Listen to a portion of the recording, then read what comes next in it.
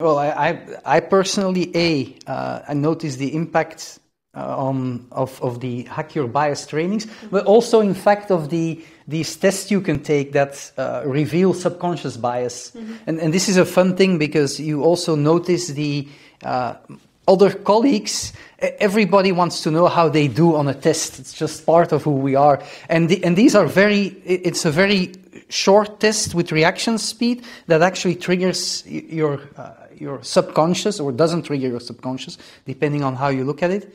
And I, I actually noticed that as, ex, as I had hoped, eh, you hope, that I am rather unbiased except in one dimension, which is age. I, I, have a negative tendency for older people. As a white 50 plus male, I need to revisit that, but it is something that I actively think about. Uh, so those things, I think, have made IMEC already a better place. And secondly, because we have these trainings, because there is communications, we have created already an environment where we have the conversations more often.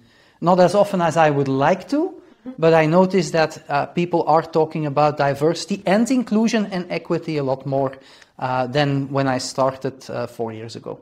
Yeah, we, we also see this in a more, let's say, anecdotic way, where people that have left IMEC years ago now are rejoining IMEC and then uh, telling, okay, I see that the culture has changed and that the conversation has changed since, so that is very nice to hear.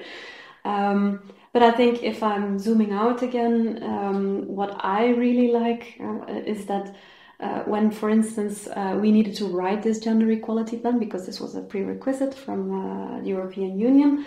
Um, we noticed that just because we had been working on this topic already for two years and we had uh, built up so much training, communication, and other actions, we had a lot that we could incorporate and build upon. So these are truly foundations that we can work with for the future. So it was very easy uh, to, to, to write this plan and to make this a very good and ambitious plan.